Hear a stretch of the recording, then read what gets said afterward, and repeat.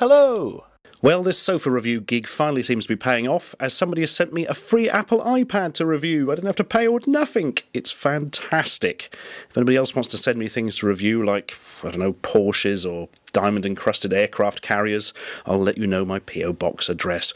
Anyway, yeah, Apple iPad. Uh, today is the UK release date of said item. I've had mine about a week. It's an American one, obviously, because they only came out today in the UK. Weren't you listening to me three seconds ago? Um, yeah, the surprising thing actually is it took ages to arrive because for reasons we have no understanding of, the postal company, instead of sending it from America to the UK, which, you know, would make quite a lot of sense, sent it from America to Canada, where it stayed for a fortnight, then sent it back to America, then sent it to the UK. It seems fairly inefficient to me, but uh, what do I know? I don't run a postal company. right, anyway, let's have a look at the device. Or not, because I'm going to show you the box first. Yeah, I know. Don't worry, there's not much in it. We'll get it out of the way quickly. Here's a box. It's from Apple, so it's quite sleek and nice and has virtually nothing in it. Uh, yes, designed by Apple in California. Little thing with your bits of paper and, you know, I don't even know what's in it. I haven't looked. No discs or anything. What's in there? Very basic statement of uh, how to use the controls on it and some sort of warranty card. Lovely. Right, what's inside? Very, very little, um, as is the status of Apple products generally. You have a USB lead and a power adapter, which is, of course, no use to me at all because it's an American one. Something you should bear in mind, actually, if you do happen to be importing one, is that uh, it won't charge off a standard USB socket the quite big battery in it takes an awful lot of juice, and as a result, you just sort of plug it into your Mac or PC, and the iPad says rather petulantly, "Not charging." Not going to do it. So, uh, your best bet is obviously proper USB adapter. The one that comes with the iPhone 3G does work because I've been using it, but a word of warning it gets bloody hot, really bloody hot. Anyway, enough of boring boxes. Let's have a look at the sleek device. Ooh. You can see my face in it. I apologise for that, but it's very shiny. Right, quick look around the back, which isn't particularly interesting. There we are. There's a shiny Apple logo. It says iPad 16GB. This is the non 3G version, so it can only connect to your local Wi Fi. And there's some copyright gubbins and some interesting logos. Marvellous. Okay, let's go on to the device itself. At the bottom, you've got speakers and somewhere to plug it into its uh, proprietary connector thing bit of volume, a lock that's not actually uh, the old iPhone switch for volume on and off, that will lock the um, perspective of the screen. Which is actually very useful because when you're using your iPhone, you have to quite sort of violently turn it, don't you, in order to uh, change the orientation. Whereas with this, possibly because it's so much larger, you kind of uh, do it quite a lot by accident. So that is an immensely useful little thing. On the top, you've got a power button, you've got that, which is a hole. I don't know what that's for actually. I would have said SIM card release, but uh, of course this is the non 3G, so it doesn't have the slot. And a little something there for your headphones. Nothing on this side. And yeah, here is the device itself. Something I noticed uh, when we first had shots of it was there's a big, ugly black bezel round it. You think that's not very posh, is it? Apple like their things look pretty. Why has it got a big bezel? Then you hold it in your hands and you realise the reason it has a big bezel is if not, you'd be constantly touching the screen and it wouldn't be any use. So, uh, mark me down minus one for common sense there. Also, while we're on the subject of the device itself, the ergonomics aren't quite as good as I'd expected. It sort of feels a bit. I don't know, um, not that comfortable is probably quite a fair description. Uh, maybe to do with the minimalist design. It's a bit sort of spiky in the corners. Um, I mean, I wouldn't want sort of huge rubber lumps to hold on to or something, but I don't know, it's not that great. And the weight of it, um, a lot of people describe this as a problem. I got mine out of the box and thought, this doesn't weigh anything, you wimps. What's the matter with you? You've got arms like noodles, haven't you? then, of course, you start holding it for a while and you know it becomes heavier over time doesn't it? And it does start to do your hands in a bit and that's when the ergonomics start to sort of chafe a bit as well. You really wouldn't want to use it for a huge period of time without resting it on something. So bear that in mind if for some reason you were planning on buying one and never resting it on anything ever. Right anyway let's turn it on and have a proper look You'll notice it says slide to unlock and gives us the time and everything, just like an iPhone. And there's the time. If you want to keep an eye on that, you can see when I'm using jump cuts. Right, slide to unlock. Oh, yes, that's mighty familiar to anyone who's used an iPhone or an iPod Touch. Of course, this is very, very similar to an iPod Touch in use and in many other ways, as you will probably see as we go along. Right, status bar at the top tells us it's an iPad. Always handy, except when I stick my finger in the way. Let's try that again. Tells us it's an iPad. Okay, we're connected via wireless, and there's no other way to connect this particular one, so it's easy. It's a quarter past three. Oh no, that means the school children will be walking past soon and making loads of noise. Oh well. Uh, battery's at 42%. Uh, there's a lot of talk about the battery life being excellent, and it certainly is. I'm getting about nine, nine and a half hours out of it, which is astonishing when you, you especially take into account the awful battery of the iPhone. I wasn't really expecting much from that, but no, this is splendid. Okay, let's have a look through the first row of apps, which aren't going to be very interesting. Let's get it over with. Calendar. It now looks like a little book. That'll do. Contacts. It now looks like a little book. That'll do. Notes. Looks exactly the same as it did, really. Not much to say on that one. But we can use it as an example for using the keyboard. Hooray! New note. Go on. Let us type. Now the keyboard itself um, looks remarkably similar to the old iPhone one yet again, however, is a lot, lot nicer to use purely because it's bigger. You can kind of touch type on it, but not for long, of course, because there's zero tactile feedback. You're literally touching a bit of glass, aren't you? So as a result, you tend to sort of slide to one side and not notice, and then you've written everything in code. But there we are. Let's write a note. Ugh. That's not a good joke. I apologise. Right, out we go, and in we go next to photos. Hooray! I haven't bothered putting any on. I'm sure you know what a photo looks like. And my word, they do look nice on this screen. Maps. Here's a map of Reading Road in Oxfordshire. Where on earth is this? My girlfriend's been using this. I've got no idea what that relates to at all. Anyway, yeah, nice maps app. Of limited use because, of course, there's no GPS. Hmm, I'm worried she's cheating on me in a man with Reading Road now. Hmm, I'll have to look into that later. But in the meantime, I shall look into this person's tennis court. Fun. Okay, that's the first boring line of apps gone. Let's look at some of the more interesting ones. In fact, let's nip down to the main ones at the bottom. You'll notice this is larger. I believe actually you can now pop more icons onto it. There, I was correct. Okay, first things first, let's look at what is basically the killer app of it. Looking on the internets. Oh, incidentally, something you may have noticed, it's a little bit more responsive than even the iPhone 3GS. Everything's a little bit smoother and nicer. In fact, if I turn it round, whoop, I don't know if you're used to sort of iPhones and that, but that's much smoother and nicer than they do it. It's got a bit of oomph behind it, this thing, which is uh, fairly impressive when you take into account the battery. Okay, let's Google something. Something I'm not going to get done for copyright for showing you. I shall Google myself and my own site. There we are. Now, looking at the web in portrait mode isn't much fun, to be brutally honest, because the fonts get a bit small and indistinct. You're far better off whoop, twiddling it round this way. In fact, I'm going to put the lock on. There we are. Now, using the internet on this is a bloody joy. It really is. Very, very easy to scroll about and look. Everything looks vibrant and lovely. How I said the word vibrant enough in relation to the screen? You can't say the word vibrant enough in relation to the screen. Really, it's really nice. Um, yeah, you can look at the internet on it, but my word, my word, it is quick and easy. Um, if you're sort of sitting on the sofa and just want to look something up quickly, this is absolutely unparalleled. Particularly, of course, because it doesn't take two seconds to turn it on. Button. Slide to unlock. We're in. Imagine how long it takes to fire up any sort of laptop and do that. Right. Uh, something else is, of course, Flash. Yes, Adobe's proprietary Flash format, basically is standard on the web for animations and many types of video. The iPod doesn't do it at all, ever. So it kind of has workarounds. Something I quite like, well, something really important, come to think of it, is embedded YouTube videos do just play. Hello. Shut up. I don't like your face. Yeah, which is good. You know, you don't have to load up that proprietary YouTube app and get it all to load and do rubbish things like that. Let's look at another site uh, that I run. Trailer. Club 70. There we go. And up it loads. Ugh, big somebody's mouth. That's always nice. Yeah, as you can see, works a bloody treat.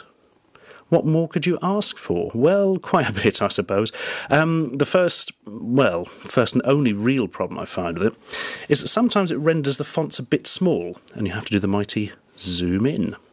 Now, that's not much of a problem, but when you put it into a perspective with how incredibly immediate and easy this is, even zooming in slightly seems like a chore. You probably wouldn't think anything of it on a laptop or something, but uh, that is a slight drawback of the relatively restrained uh, resolution of the screen. Anyway, I'm sure you've all seen the internet in your lives. I shall just point out again, it's very nice to look at it on an iPad. Also, I shouldn't look at sites with black backgrounds because it makes the reflections worse. Anyway, what's next? Videos! Here we are. Now, videos, there's been a lot of, uh, hmm, I'm going to put it, nay saying, shall we say, about videos for the simple reason that the screen isn't high def enough to show high def, which has upset a lot of peeps. Um, I, I don't really find it that much of a problem because the screen is so bright and nice that videos still look great on it. But you know, I suppose you do have to take into account that the resolution is limited, and of course, since most of what you're going to be watching on it is widescreen, and this is in fact in 4x3, you're reducing the resolution again with bloody great black bars at the top and bottom. But such is life; it still looks good, and you know, how high def do you need something you're holding fairly close to your face? I don't know. Right, here's a short video of Made for Your Delectation to show off the video capabilities. It's based on the old Godfrey Ho ninja movies, which were awful. Ready? Here we go. Play. Why did you steal the ultimate golden terminating ninja warrior dragon? Hey!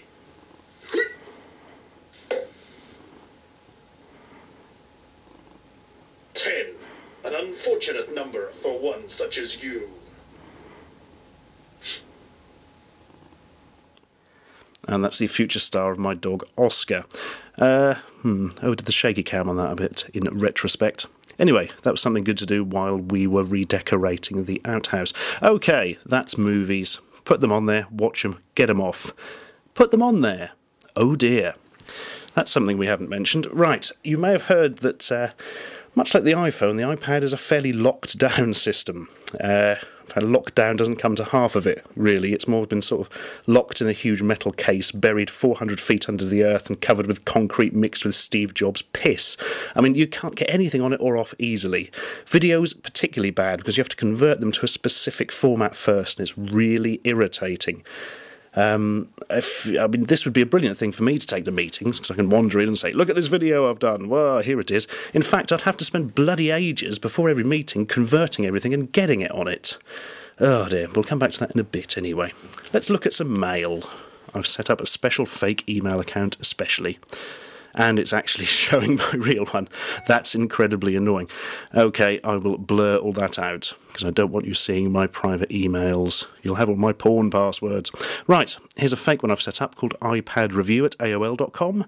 Don't bother emailing it because it will be turned off by the time you get hold of this. Okay, there's two in the inbox apparently. Here we are. And very nice it is too. Basically, you have a list up the side, as you probably noticed, of your emails and you can then scroll up and read and reply as you see fit. There's a nice welcome one from AOL Mail, and some stupid thing I sent myself just to check it was working. Of course, if you turn it portrait, it's now much better for just reading email. If you are responding, though, I would strongly recommend going back to landscape for the simple reason you get a much bigger, do I get it up? Keyboard, and it's therefore easier to type on. Easy. Right, let's have a look at YouTube, like you're doing right now. In fact, maybe you're looking at it on an iPad, creating a sort of weird tunnel mirror effect. Okay, this is a very, very nice app. Uh, it's far, far more responsive than actually using the YouTube site on any computer I've ever seen. Also, the few extra features they've added, like being able to look at your subscriptions, well, not signed image isn't going to help that, but um, makes it a whole lot better to use and more functional. let's bring something up. Um, I think it's somebody who won't sue me. Uh, I met Brett Domino the other day. He was a nice bloke. I don't think he's going to break my kneecaps for uh, showing a few seconds of his video. Uh, let's have. Oh my goodness, he had a keytar when I met him, but this one looks massive. Oh, look at that. It's the 80s all over again, man.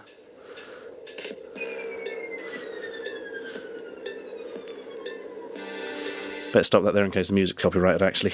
Oh, you know, I kind of want a keytar now, but I've got no musical ability at all, so let's forget that. Yeah, anyway, it's bloody brilliant. Re- it's the best way of looking at YouTube I have ever seen, by far. So that's nice. iPod. I think it's a bit of a misnomer to call this function iPod, because an iPod's a small device you carry with you, and you know, you ain't going to be carrying this in your pocket unless you've got some weird jacket with a huge front pocket you can fit it in where it'll be like an armour plate. Okay, there's one piece of music on it. I'm not playing it properly.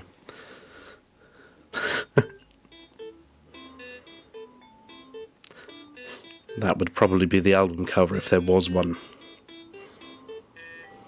You get the idea, it plays music, probably handy on a train to drown out whatever racist idiot is sitting next to you if it's anything like the last time I went on a train. Okay, iTunes! That's where we like to spend our money. Hmm, taking longer to come up than usual. There we go. Yes, you can look and pay money to own pieces of music that you can play later. I'm sure you're not unfamiliar with this concept. The Music Glee. That doesn't sound good. Beachcomber's Window by Stornoway. Never heard of them. Mind you, I've never heard of anything, because basically uh, my cultural references stopped in 1994. Uh, something I was doing, actually. I want to see how much it is to uh, download and watch Inglourious Basterds, the uh, Quentin Tarantino film with the bad spelling. I haven't watched it yet. It's one of those things with very mixed reviews, as in some people loved it and some people didn't. I want to make up my own mind. It appears to be 11 bloody pounds. You taking the mick? I didn't think they were that expensive. I can get the DVD for about six or seven. Ugh. Now, let's put me off iTunes. I'm sure you know what it is. Humph. Now, the App Store this is now sort of broken in two. You have the iPhone bit and the iPad bit, because of course all iPhone apps will work on the iPad, except uh, ones you know that use the microphone if you haven't got an external one, or ones that use the GPS, or this, that, and the other. Right, what's featured? What's big in the world of iPad today? The Times, something to do with Stephen Fry, a magic piano. That's the best type of piano. Oh, Broken Sword Director's Cut. I keep meaning to look at this. Paris in the Fall, a brutal murder at the Palais Royal. I've never played Broken Sword. I do like the old point and clicks though. Now this has got to be a good use of the iPad, but unfortunately for you, I'm extremely mean and I'm not spending £5 on one game to show you. So Yahoo sucks. Something I was looking for, an eBay client for it. Unfortunately, there isn't one for the iPad as yet, just the older iPod one. So, actually, something of interest, you will notice that some of these have a little plus next to them. Plus means it works on iPhone or iPad. You don't see it that often, though. Usually, they'll sell a separate iPad version for more money. And there is a bit of a weakness of the old iPad at the moment, at least. The apps are a lot more expensive, whereas they're usually about 59p, or, you know, £1.19, as that one ably demonstrates there. The iPad ones are rather more. They tend to start at around £1.79 for the very minimal ones, and most of them around the £3 or more mark. And a lot of them don't seem to do that much more, particularly the games, which frequently fall into that old iPhone trap of, you know, here's a flash game off the internet that you can play for free that we're now charging you to play on your Apple device. That always seems a bit naughty, that. Anyway, that's where you buy things. That's all the stuff at the bottom. Uh, in fact, we covered that a while ago. Oh no! I've gone into the weird black screen of death. Oh, we're all right. Settings. That changes the settings. Do you really want to see that? Well, tough, because I'm not going to show you. No, I tell a lie, actually. I'm going to show you one bit of the settings, because it's very important. The Wi-Fi there you frequently have to go in and turn it off and then turn it on again because it just suddenly stops receiving data. That's something you may have heard about on the internet, and yeah, it's bloody true. All too true. I've gone through two routers trying to get one that's more stable with it, and uh, frankly, no, it don't work too well. You get about sometimes about 5 minutes, sometimes about 35 minutes before it cuts out, and you have to reset it. It will almost certainly happen at some point while we're doing this, I imagine. We shall see. Now, a new one. When I first got this, uh, there wasn't an iBooks app in the UK, but it's now been released. If you're not familiar with the concept, they're like books, what you read on the screen, like. Winnie the Pooh is the one that comes free, mainly because it's very, very pretty. It has lots of pretty drawings and things. Do you know, I haven't actually held this in portrait for books, I don't think. What happens? The obvious. Makes sense. You'll notice they've spent an awful lot of time making it look and feel like a real book, which is very nice. Less nice, of course, is uh, I can't imagine many people will actually want to sit down and read a whole bloody book off a lit screen. This is something where you really want, you know, that e ink thing you get on Kindles and that. Uh, I know some people I've spoken to can read whole screens. I've known I've spoken to two people this week who've read whole novels off an iPhone screen. I think I'd be blind by now if I tried that. But um, there we are. Perhaps that's a personal preference thing. I mean, it's handy for the train, but I couldn't read a lot off a bright screen. But as you can see, it's very pretty. Screen's very vibrant. I may have mentioned that 900 times already. And, you know, it looks and feels a bit like a book, which is nice. You do have a very small font choice, though, which is a bit odd. Also, very weak is that if you get one of the books from, I believe, old Project Gutenberg, Pride and Prejudice here, they're not formatted very well. If we nip back to the start, Look at that contents page. Beautiful, he lied. Um, I mean, that's something you put up with because the books are free, but uh, maybe that kind of thing annoys you. Okay, that's all the basic apps. I'm going to go and get a drink.